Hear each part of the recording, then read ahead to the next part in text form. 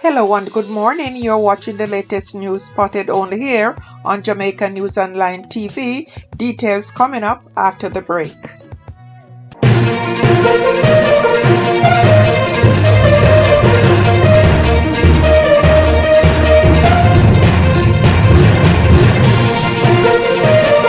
Student steals $215,000 phone. Imagine sending your kid to university expecting a good grade and this is what happened. You have to go try to bail them out of jail. A university student who admitted to stealing a cellular phone was scolded by a senior parish judge who stretched, stressed she ought to have known better. And the senior judge is right. The senior parish judge was vocal in her disappointment as she scolded Miss Lind, who appeared in the Kingston and St. Andrew Parish Court on Monday to be sentenced for larceny by trick. Prosecutors contend that the complainant was selling an iPhone costing $215,000 and Miss Lind contacted him stating her interest in the product. It is reported that Lind met with the complainant and was handed the phone while she was seated in a, in a vehicle.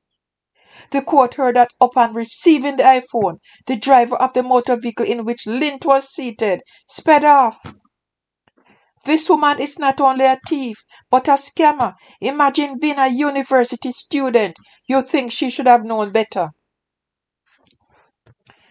I have no intention of letting you go. You are a university student, and I sit here as judge. I am very mindful that I send messages to members of the public, so I can't come in here and pet and powder people and soft soft with people.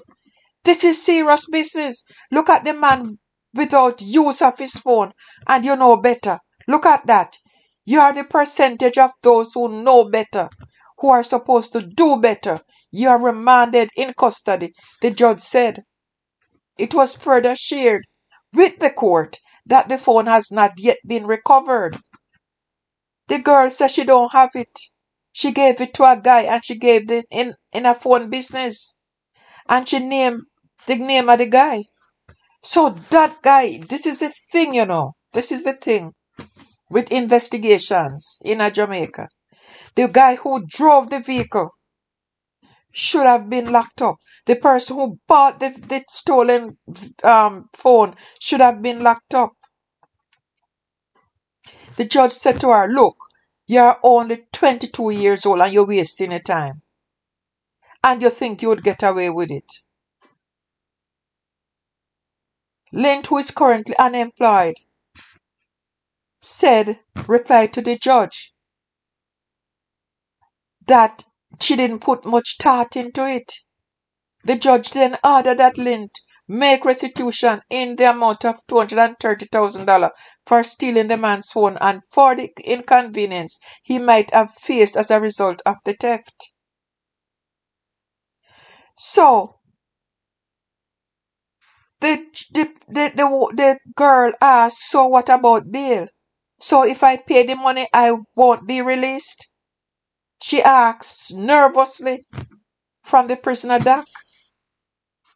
And the judge tell her, say, listen, she can't make any promise to release her because it's a criminal court she's in and it's a serious business. And she said, very often she find out that people come in there and the lawyers ask that them just not serve time, them just pay the money and don't serve time. And she said, listen, me can't subscribe to that thing.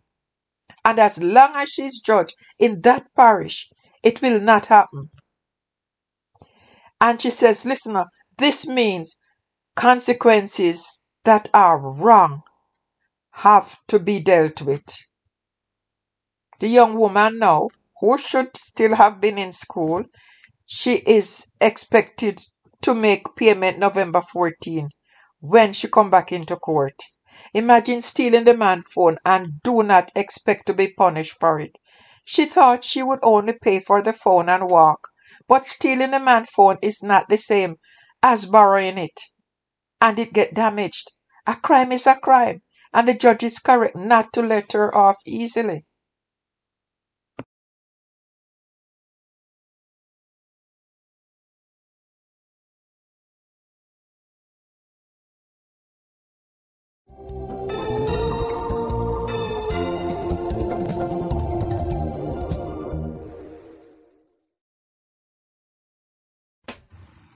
Guys, thank you for watching.